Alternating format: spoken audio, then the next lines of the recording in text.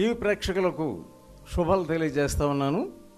మరోసారి మిమ్మల్ని అందరిని కలుసుకోవడం ఎంతో సంతోషం.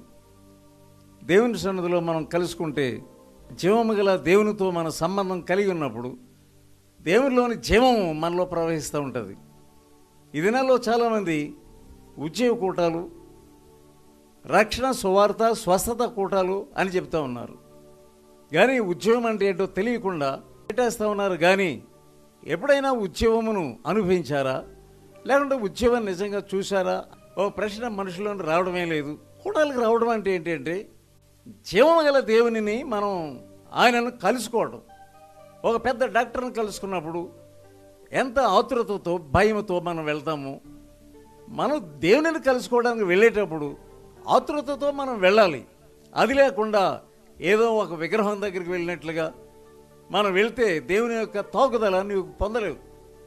ఆత్మ తాకుదల కొరకు ప్రతి వారు కూడా దేవుని యొక్క సన్నిధిలోనికి రావడానికి మరి సిద్ధపడి వెళ్ళాలని కోరుతా ఉన్నాను. ఉద్యోగ కూడాలు మేము చేయడానికి సిద్ధంగా ఉన్నాం. ఉద్యోగ కూడాలు సిద్ధంగా ఉన్నామంటే ఏంటంటే ఏదో మామూలుగా అలవాటు ప్రకారంగా అంటే మనుషులు కూడాలకి రాకూడదు. అదే తిరణాలకు వెళ్ళినట్టుగా అలా కాదు. నీవు నిజంగా జీవము గల దేవుని దర్శించడానికి నువ్వు వెళ్తున్నావా నలభై రెండవ కీర్తన ఒకటో వచనం. దుప్పి నీటి మోగుల కొరకు ఆశపడుచున్నట్లు. దేవ నీ కొరకు నా ప్రాణము ఆశపడుచున్నది. నలభై రెండవ కీర్తన రెండవ వచనం ఏముందంటే నా ప్రాణము దేవుని కొరకు తృష్ణ కొని ఉన్నది. జీవము గల దేవుని కొరకు తృష్ణ కొని ఉన్నది. దేవుని సన్నిధిని నేను ఎప్పుడు వచ్చేదనా అని ఆయన సన్నిధిని ఎప్పుడు కనబడదను. ఇది నీకు ఉన్నటువంటి ఆశ. ఎందుకంటే ఆయన నిన్ను దర్శించబోతున్నాడు. ఆయన జీవం గల దేవుడు. విగ్రహం దగ్గరికి వెళ్ళినప్పుడు ఏ విధమైన సిద్ధపాటు అవసరం లేదు. లారీలో ప్రయాణం చేస్తే ఓ గుడి దగ్గర లారీ ఆపి లోపలికి వెళ్ళి కొబ్బరికాయ కొట్టి ఆ కొబ్బరికాయ తీసుకుని వచ్చి ఆ లారీలో కూర్చున్న వాళ్ళందరికీ పంచిపెడతారు. మన జీవము గల దేవుని దగ్గరికి వెళ్తున్నప్పుడు గ్రేట్ పవర్ఫుల్ గాడ్. ఈ గొప్ప దేవుని దగ్గరకు వస్తున్నప్పుడు ఎంత భయముతో శక్తి గల దేవుని దగ్గరకు వస్తున్నప్పుడు మనం ఎంత వణుకుతో మనం వెళ్ళాలి. అదొకటి ఇది ప్రేమను గురించినటువంటి కలయిక. ఏంటంటే తృష్ణతో ఎవరన్నా ప్రేమించమంటే ఆ ప్రేమించేటటువంటి వ్యక్తి దగ్గరకు ఎంతో ఆశతో మనం వెళ్తాం మనం. ఎప్పుడు వెళ్దామా అని వెళ్తాం. కానీ చాలామంది ఒక రోజు అయిపోయిన తర్వాత వస్తారు. అంటే ఏంటన్నమాట నీకు దేవుని సన్నిధిలో దేవునిని కలుసుకోవాలి అనేటటువంటి తృష్ణ లేకుండా నువ్వు వస్తున్నావు అన్నమాట. ఇతనాలో మేము కూడాల కొరకు సిద్ధపడుతున్నాం. ఈ లోపల ఒక సహోదరి నాకు ఏమని ఫోన్ చేసిందంటే నా దగ్గర ఉన్నటువంటి టీం మెంబర్స్ని అందరినీ కూడా ఎలాగ వెళ్ళాలి అనేది నేను సిద్ధపరుస్తున్నాను. అంటే ఉదయం మొదలుకొని సాయంకాలం వరకు ఏదో పని మనం చేస్తూనే ఉంటాం. కానీ ఆ పని చేస్తున్నప్పుడు కూడా ఆ ఉద్యోగ కూటాల వరకు దేవుని ఆత్మ మనుషులపై దిగాలి అని వారు ప్రార్థన చేసుకుంటేనే పనులు చేయాలి అని నేను చెప్తున్నాను అని ఆమె చెప్తా ఉన్నది. నిజమే. ఎంత చక్కని తలంపు దేవుడు ఆమెకి ఇచ్చాడు. రెండు రకాల ఉద్యోగాలు మనం చూస్తున్నాం. నేను రెండు రకాల ఉద్యోగాలు చూశాను. ఒకటి ఏంటంటే పర్సనల్ రివైవల్ ఆ తర్వాత కాంగ్రిగేషనల్ రివైవల్. ఆయా స్థలాల్లో ఆయా దేశాల్లో ఆ ఊర్లలో బలమైన ఉద్యమం రావడం మనం చూస్తున్నాం. ప్రజలందరూ కూడా బలముగా పశ్చాత్తాపడి వారి పాపములు ఒప్పుకొని పశ్చాత్తాపడడం మనం చూస్తాం అసలు పశ్చాత్తాపమే లేకుండా అసలే పాపడు ఒప్పుదల లేకుండా కొంతమంది ఉద్యోగ కూటాలు ఉద్యోగ కూటాలు అని నడిపించేస్తూ ఉన్నారు. ఇంకా కొంతమంది ఉద్యోగ కూటాలు ఎందుకు పెడుతున్నారంటే పెద్ద స్పీకర్ని పిలవటం చాలా డబ్బు వెచ్చించడం ఊరంతా డబ్బులు పోగు చేసుకుంటాం సిగ్గులేని వాళ్ళలాగా దేవుని భయం లేని వాళ్ళలాగా ఆ ఇంటికి ఈ ఇంటికి భిక్షగాళ్ళలాగా వెళ్ళి మేము కుండలు పెడుతున్నాము ఓహో అని ఏం చేస్తున్నారండి? ఓ పు- పుస్తకం ప్రింట్ చేసుకోవడం. మీరు ఎంత ఇస్తున్నారు? వాళ్ళు ఐదు వేలు ఇచ్చారు. మీరు ఐదు వేలు ఇవ్వడం ఏంటి? మీరు పదివేలు ఇవ్వండి. అని ఇది ఏంటి అనుకుంటున్నారు మీరు? దేవునితో ఆటలాడుతున్నారా? దేవునికి భయం లేకుండా ఉద్యోగం కూడా అంటే దేవుడు చేసుకుంటాడు. కానీ నీవెందుకు ఇంత ఎఫర్ట్ పెడుతున్నావు? నో నీవు పెట్టవలసిన ఎఫర్ట్ అంతా నీవు ప్రార్థన చేయంతే. ప్రార్థన లేకుండా ఎంత ఈ ఉద్యోగ కూడాలు డబ్బులు మిగిలిని మిగిలిన డబ్బులతో బిల్డింగ్ కడదాం. లేకుండా మా పిల్లల్ని చదివిస్తాం. అమెరికా పంపిస్తాం. బీ కేర్ఫుల్ ఏమనుకుంటున్నావు? నీవు దేవుని భయం లేనివాడు. ఉద్యోగం అంటే ఏంటి? డబ్బులు పోజు చేసుకొని వచ్చిన లాభంతో అది కడదాం ఇది కడదాం అది కాదు. జీవం గల దేవుడు ఆత్మ ద్వారా మనుషులపై దిగడమే. ఈ గొప్ప శక్తి పరలోకం నుండి దిగినప్పుడు నువ్వు ఎంత భయంతో చేయాలి? దీని అంతటి విషయంలో నీవు ఒక రోజున లెక్క అప్పచెప్పాలి.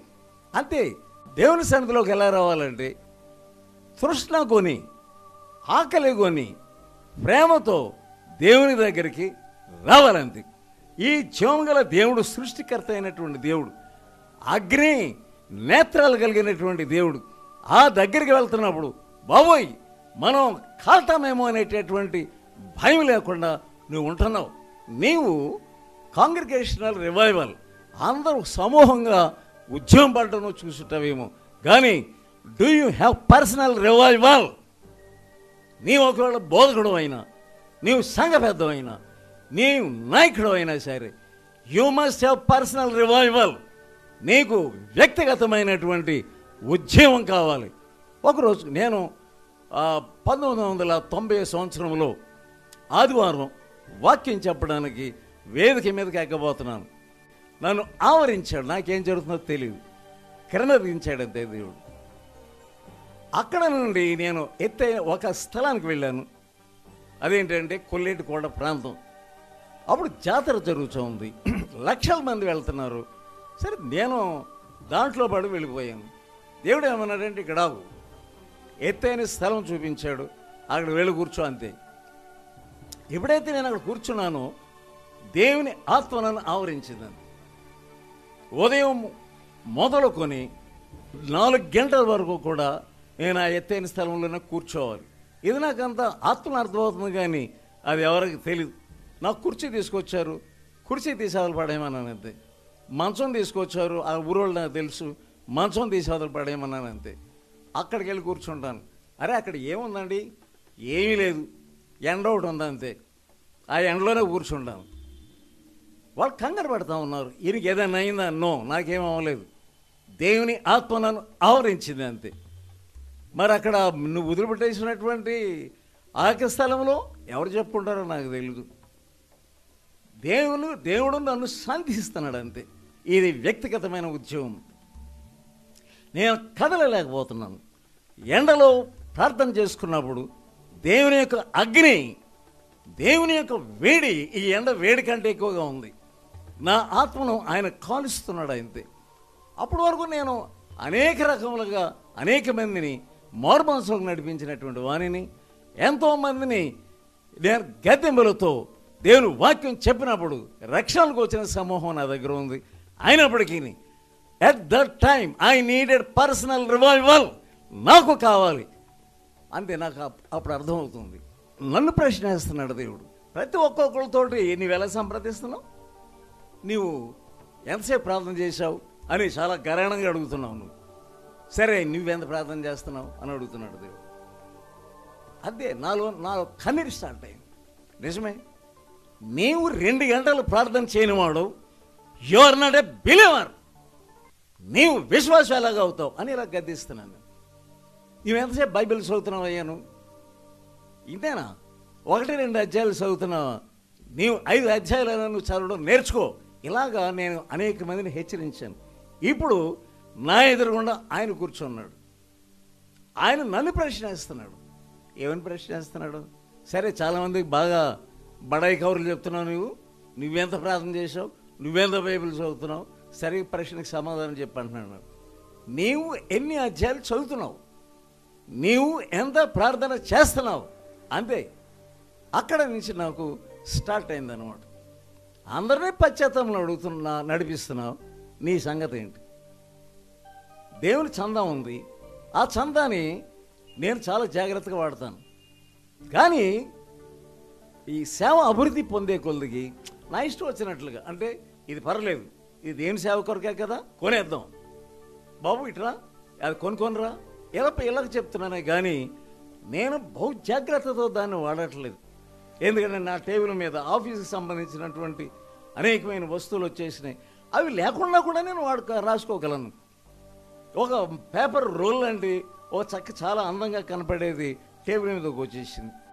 కానీ ఆయన అడిగే ప్రశ్న ప్రతి ప్రశ్న ఎలా ఉందంటే ప్రతి పైసా విషయంలోనూ ఎలా ఉంటున్నావు? నేను కదలలేకపోతున్నాను. మూడైపోయింది నాలుగైపోయింది రెండవ రోజు మరలా అంతే ట్వంటీ వన్ డేస్ ఇరవై ఒక్క రోజు అది జాతర సమయం. ఆ సమయంలో పర్సనల్గా దేవుడు నన్ను సంధించిన తర్వాత స్థుతి అంటే ఏంటో నేర్పించాడు. స్థుతి సింహాసనం ఎలాగా తయారవుతుందో నేర్పించాడు. ఆ టైంలో స్థుతించమని చెప్పినాడు. స్థుతించే కొలది ఒక సింహాసనం ఏర్పడింది. అప్పుడు మనసులో అర్థమవుతుంది ఇది స్థుతి సింహాసనము. అప్పుడు నేను స్థుతించడం ప్రారంభించాను. అప్పుడు నా ప్రార్థన మారిపోయింది. ఏమని ప్రార్థన చేస్తున్నానంటే నా ప్రార్థన ఎలా ఉందంటే ప్రభా ఈ అన్యుల మధ్య నీ మహా గొప్ప నామమును మహింపరచుకో అంతే. నా ప్రార్థన ఎలా మారిపోయిందో. ప్రభా నీ యొక్క నామం ఘనపరచబడాలి అని ప్రార్థన చేస్తాను నిజమే అది నాకు లోతుగా నాటుకుపోయిందండి. ఆ జాతర సమయంలో విగ్రహాన్ని ఊరేగించేటటువంటి సమయంలో ఆ విగ్రహం కింద పడాలంతే యేసు ప్రభు నిజరక్షకుడు అని తెలుసుకోవాలంతే. నేను చెప్పిన టైంకి మొత్తం ఆకాశం అంతా నలగైపోయిందండి మధ్యాహ్నం వేళ నలగైపోవడమే కాకుండా ఎర్ర సముద్రమును చీల్చినటువంటి ఆ తూర్పు గాలి వచ్చి కొట్టగా విగ్రహం కింద పడింది అంతే ఇక ఉదయమే అక్కడ ఉన్న వాళ్ళు చాలామంది వచ్చారు. ఆ ఊరు వాళ్ళు. ఏమన్నారంటే మీరు పూజిస్తున్నటువంటి దేవుడు నిజమైన దేవుడు. వాళ్ళు లంచ్లో నా దగ్గర రావడం వాళ్ళు నన్ను పరామర్శించడం.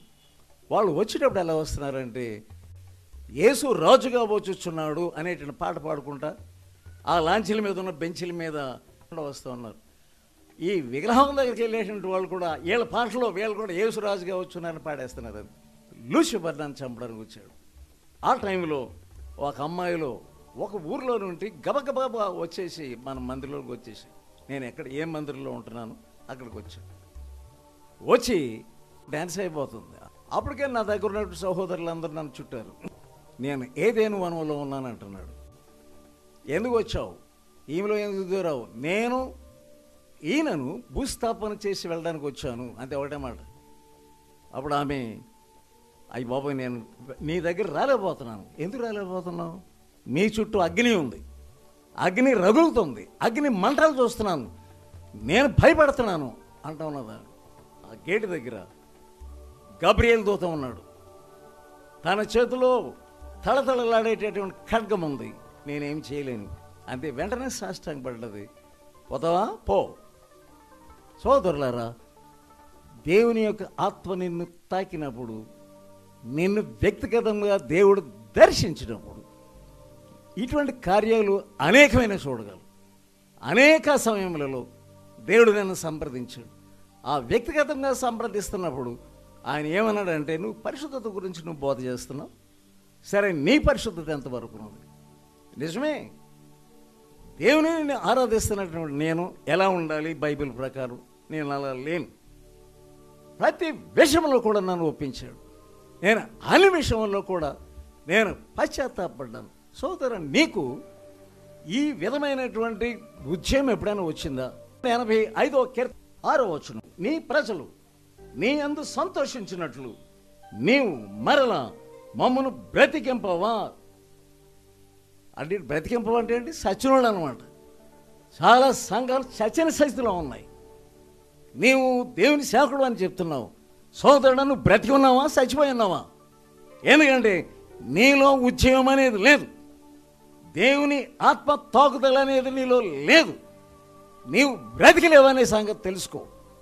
హబక్కు గ్రంథము మూడవ అధ్యాయం రెండవ వచనం. ఏహోవా సంవత్సరములు జరుగుచుండగా నీ కార్యము మాకు కనపరచు సంవత్సరములు జరుగుచుండగా వానిని తెలియచేయము. కోపించుచునే వాత్సల్యము జ్ఞాపం చేసుకోము కోపించుచునే చాలామంది కోపం వద్దు కోపం వద్దు అంటూ ఉంటారు. కానీ దేవుని కోపాన్ని కూడా మనం భరించ భరించగలగాలి. ఎందుకంటే మనం చేస్తున్నటువంటి పాపముల కొరకు శిక్ష అనిపించడం తప్పేమి కాదు. కోపించుచునే నీవు వాత్సల్యమును చూపి నిజమే దేవుని వాత్సల్యము నీకు కావాలి. కానీ ఆయన కోపం వద్దంటావు నువ్వు. ఆయన కోపం అనేటటువంటిది నీవు అనుభవించడానికి నీవు సిద్ధపడాలంతే. కోపించుచునే వాత్సల్యము జ్ఞాపం చేసుకో. నీ కార్యమును నూతనపరచు మనుషులకు. దేవుని కార్యము నూతనపరచబడాలంటే ఉద్యోగ కూడాలంటే తమాషా కాదు. చాలామంది ఉపవాసం ఉండరు. ఉపవాసం ఉండి ప్రార్థన చేయరు. మరి ఎట్లాగ నీకు ఉద్యోగం ఉద్యోగం అంటున్నావు? ఎలా సిద్ధపడుతున్నావు? ఒకసారి ఒక చోట ఉద్యోగ కూటాలు చేస్తున్నారు. ఒక యవనస్తుడిని నా దగ్గర పెట్టి అయ్యగారు ఈ యవనస్తుడు మిమ్మల్ని చూసుకుంటాడు. మీకేం కావాలంటే దుకుమం దగ్గర ఉంటాడు అన్నీ ఇస్తాడు మీకు. కాఫీ ఇస్తాడు టీ ఇస్తాడు ఏది కావాలంటే అతనితో చెప్పండి వెంటనే మీకు సప్లై చేస్తాను సరే మంచిది. ఆ యవనస్తుడు చాలా చక్కగా సంతోషంగా ఉన్నాను కదా అని అనుకుంటున్నాడు అంతే. నేనేం ప్రశ్న వేసాను అబ్బాయి నీవు రక్షణ పొందావా? అబ్బో ఎప్పుడో నేను ఆ బాప్తీసం తీసేసుకున్నాను సార్. బాప్తీసం తీసేసుకున్నావు. పాపాలు ఒప్పుకున్నావా? అబే బే బే నాకు నేను పాపాలను జోరికే చెప్పుకోవాలంటున్నాడు సరే మంచిది. దొంగతనం చేసావా అని అడిగాను. అబ్బే బే బే బే దొంగతనం అంటే నాకు ఇష్టమే లేదంటున్నాడు. లోపల ప్రార్థన చేసుకుని అడిగాను. హాస్టల్లో ఉన్నామని అడిగాను. ఆ ఉన్నాను. సరే ఆ హాస్టల్లో మీకు ప్లేట్ ఇస్తారు కదా? అలాగే గ్లాస్ ఇస్తారు కదా? ఆ ఇస్తారు సార్. సరే నీవు ఇంటికి వచ్చేసేటప్పుడు ఆ ప్లేటు గ్లాసు ఇంటికి తీసుకొచ్చేసావా అని అడిగాను నేను.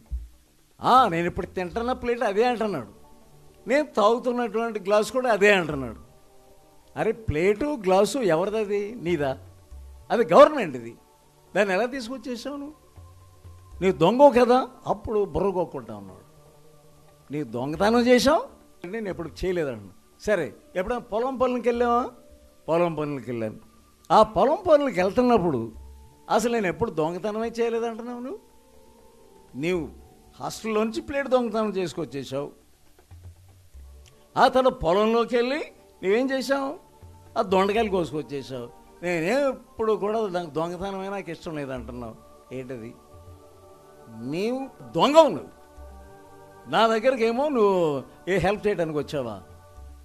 వెళ్ళి పశ్చాత్తపడద్ది ఆ రోజు పశ్చాత్తాపడడానికి స్టార్ట్ అయింది సోదరులా చాలామంది నన్ను పిలవడానికి బాధపడతారు. ఎందుకంటే ఎక్కడ వీళ్ళందరూ నా చుట్టూ ఉన్నటువంటి వాళ్ళు ఏ భావాలు ఒప్పుకుంటారు అనేటువంటి భయం. ఒక బైబిల్ కాలేజీకి వెళ్ళిన వాక్యం చెప్తున్నప్పుడు ఆ బైబిల్ కాలేజీ అందరూ ఒకటే పశ్చాత్తాపడుతున్నారు అందరు. ప్రభా ప్రతిరోజు ఈ గేటు దాటి మేము సినిమాకి వెళ్ళిపోతున్నాం. ఎంత ఘోరమైన స్థితిలో బైబిల్ కాలేజెస్ ఉన్నాయి. నీ బైబిల్ కాలేజ్ మూసివేయడం మంచిది. ఎందుకంటే ఇటువంటి వాళ్ళని నువ్వు సృష్టించే కంటే నువ్వు బైబిల్ కాలేజ్ మూసుకొని పశ్చాత్తాపడడం మంచిది. ఎంతమంది బైబిల్ లేకుండా ఉంటా ఉన్నారు. యశ గ్రంథం అరవై నాలుగవ అధ్యాయం ఒకటో గగనము చీల్చుకొని దిగి రమ్ము. ఎలా ప్రార్థన మొదలుపెట్టు? గగనము చీల్చుకొని దిగి రమ్ము. దేవా నీవు నన్ను దర్శించాలి. దేవుడు తన యొక్క ఆత్మను నీ మీద క్రోమరించగలడు. బైబిల్ ఏముందంటే శక్తి చేతనైనను. బలము చేతనైనను. ఇది కాదు ఆత్మ వలననే జరుగును. ఏసై ఏమన్నాడంటే నా మాటలు జీవమును ఆత్మనై ఉన్నవి. శరీరం వ్యర్థమే. ఈ జీవము గల దేవుని యొక్క మాటలు వింటున్నప్పుడు దేవుని ఆత్మ నీలో పని చేస్తున్నప్పుడు నువ్వు ఎలా ఉంటావంటే నూతనమైన వ్యక్తి అయిపోతావంతే. దానియేలు ప్రార్థన చేశాడు.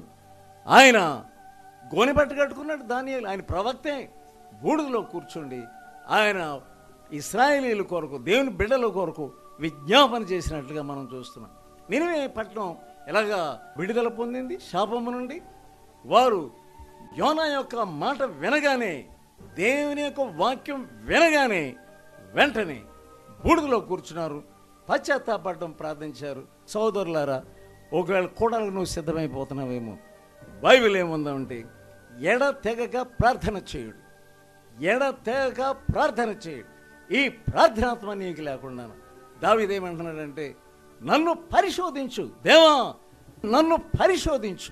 సర్చ్ మీ ఓ లార్డ్ దేవుని యొక్క వాక్యము వింటున్నప్పుడు మనుషులు తమ హృదయాన్ని పరీక్షించుకోవాలంటే. నా పేరు పెట్టబడిన నా జనులు తమ్మును తాము తగ్గించుకొని అది తమ చెడు మార్గములను వదిలివేసినట్లయితే నేను వారి పాపమును క్షమించి వారి దేశాన్ని నేను స్వస్థపరుస్తాను అంటున్నాడు. నీ కుటుంబం స్వస్థపరచబడాలి. నేను స్వస్థపరచబడాలి. చాలామంది ఇన్ని ఎంతమంది వచ్చేసారు మా కూటానికి? అంతమంది వచ్చేసారు. నో! ఒక్కడైనా దేవుని ఆత్మ ద్వారా ముట్టబడ్డా దేవుడు ఏ స్థలంలో ఉంటాడు అనుకుంటా ఒకసారి నేను కూటాలకు కొంతమందిని నాతో పాటు తీసుకెళ్ళాను ఒక గ్రామంలో. సో అది ఇంకా కూడా కూడానికి టైం ఉంది. సరే మేము ప్రార్థన చేసుకుంటాము అని నేను ఒంటరి స్థలం తీసుకున్నాను కుటుంబాలను తీసుకెళ్ళాను. దాంట్లో ఒక ఆమె ఎలా ఏడుస్తుందంటే ఎవరో కొట్టేశారేమో అన్నట్లు గట్టి ఏడుస్తా ఉంది. ఏంటి ఇలా ఏడుస్తుంది? పిలిపించాను. ఏంటమ్మా ఇంటికి ఇలా ఏడుస్తున్నావు? ఆమెమి చెప్తుందంటే అయ్యగారు నేను చిన్నప్పుడు నా తమ్ముడిని మా నాన్నగారు కొడుతున్నారు. ఎందుకు కొడుతున్నారంటే ఒక పావుల కింద పడింది నా మా తండ్రి గారి యొక్క షూలో పడ్డది. నేను ఆ ఇల్లు తుడుస్తా తుడుస్తా ఆ పావలా చేతులు పట్టుకున్నాను అంతే. కానీ మా నాయన కొట్టేస్తున్నాడు. ఇదిగో పావలా అని అనలేకపోయాను. ఎందుకంటే భయం చొప్పున. కానీ ఇప్పుడు అది జ్ఞాపకం వచ్చింది. అది ఎప్పుడు? ఎప్పుడో పది సంవత్సరాలు ఉన్నప్పుడు జరిగింది. ఇప్పుడు పెళ్ళైపోయింది. భర్త ఉన్నాడు. పిల్లలు ఉన్నారు. ఎలా జ్ఞాపకం వచ్చింది? చోదరుడ దేవుని యొక్క ఆత్మ చేసేది అదే. You don't have personal revival నీకు సరైనటువంటి ఉద్యోగం లేదు. ఇంకా నీలో పాపం ఉంది? అతిక్రమం దాచిపెట్టువాడు వర్ధెల్లడు అంతే వాడిని ఒప్పుకొని విడిచిపెట్టువాడు కనిక్రమం పొందును. యషయా యాభై ఏడు పదిహేనవ వచనం. మహాగణుడు మహోన్నతుడు పరిశుద్ధుడు నిత్య నివాసి అయిన వాడు ఇలా సెలవిచ్చున్నాడు. నేను మహోన్నతమైన స్థలములలో నివసించువాడను.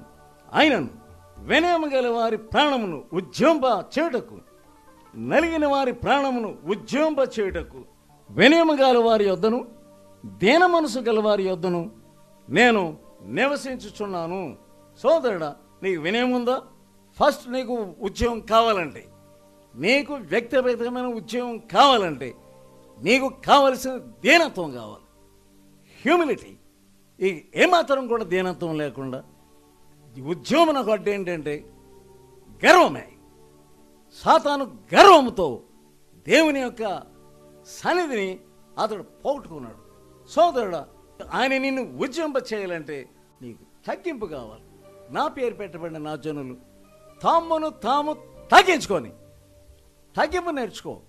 ఒక సహోదరుడు బాగానే ఉంది. అతడు ఏం చేస్తూ ఉంటాడంటే మీటింగ్లు ఎప్పుడు వచ్చినా ఎవరైతే వాక్యం చెప్పడానికి వచ్చారో ఆ స్పీకర్కి అన్నీ అతడే చూసుకుంటాడు. ఏసీ కార్ బుక్ చేస్తాడు రావడం మోను తీసుకురావడానికి. అక్కడి నుంచి మళ్ళీ స్టేషన్కి అతడే ఆ ఏసీ కారులో తీసుకెళ్తాడు. మళ్ళా ఆయన వెళ్ళేటప్పుడు ఆయన జేబులో కొంత డబ్బులు పెడతాడు. ఎంతో ఆసక్తి చూపిస్తాడు. మరి చక్కగా ఇవన్నీ ఏర్పాట్లు చేస్తాడు.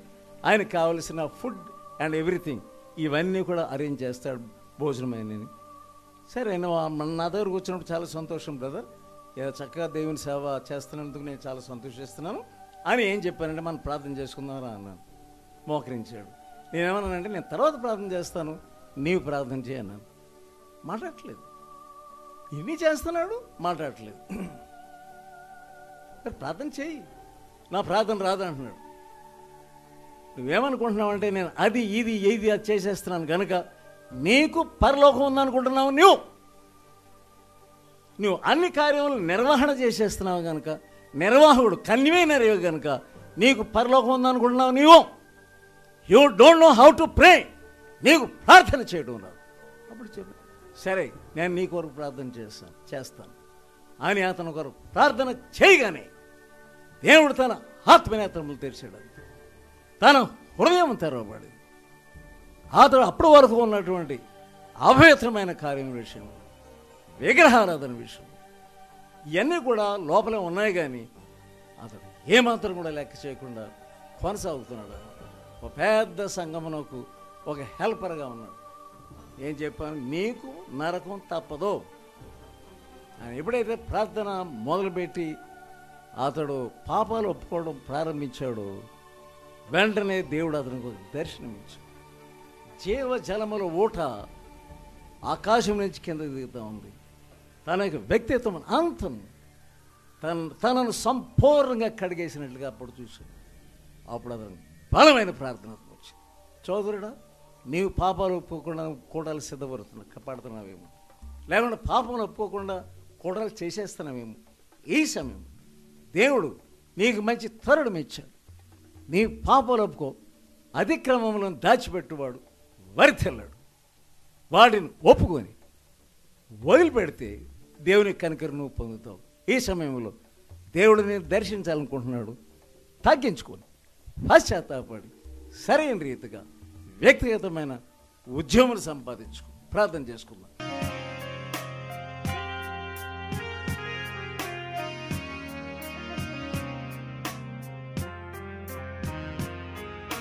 పరిశుద్ధుడైన మా పరలోక తండ్రి ఈ సమయంలో నీ బలమైన ఆత్మ ద్వారా వీరిని తాకు ఉద్యమం లేకుండా ముందుకు వెళ్ళిపోతున్న ప్రతి ఒక్కొక్కరిని కూడా నీ ఆత్మ ద్వారా తాకి నీ బలమైనటువంటి కార్యమారులో జరిగించు. కుటుంబాల్లో సంతోషం దయచు. వారి సంఘాల్లో ఉద్యోగం దయచు. ప్రతి ఒక్కొక్కరిని తాకండి. ఈ దేశం కొరకు ఎలా ప్రార్థన చేయాలో వీరికి నేర్పించు యేసు అతి పరిశుద్ధ నామందు వేడుకొంచున్నాను తండ్రి. ఆమె తండ్రి కుమార పరిశుద్ధాత్మల శక్తి మీకు తోడుగా ఉండను కాదు ఆమె ఓపికతో ఫలించు అనే పుస్తకాన్ని చదివి అనేకులు మేలు పొందుచున్నారు. ఇది ప్రతి ఒక్కరూ తప్పక చదవలసిన పుస్తకం.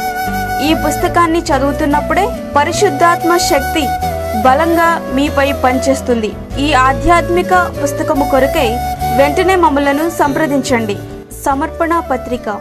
ఈ పత్రిక మిమ్మల్ని సూక్ష్మంగా పరిశీలించి దైవ వాక్యాన్ని అందించి మీ జీవితాల్లో విశ్వాసము యొక్క అవసరతను తెలియచేస్తుంది. ఈ పత్రిక చదివిన కొందరు రక్షణ పొందడమే కాక దైవ సేవలో కూడా పాల్పొందుతున్నారు. మరెన్నో ఆధ్యాత్మిక పుస్తకములు మీ కొరకు సిద్ధముగా ఉన్నవి. ఓపికతో ఫలించు అనే పుస్తకాన్ని చదివి అనేకులు మేలు పొందుచున్నారు. ఇది ప్రతి ఒక్కరూ తప్పక చదవలసిన పుస్తకం.